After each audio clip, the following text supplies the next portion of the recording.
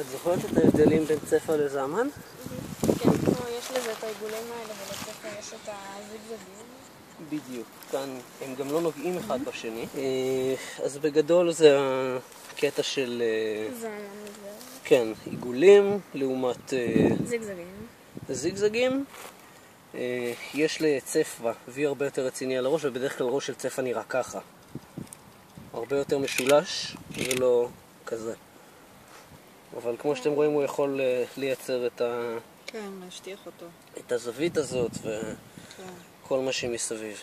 כן. אה, את רוצה לשחרר אותו? אני מחזיק לו את הראש, תקחי ושחררי ואז אני אשחרר לו את הראש. את הזמן.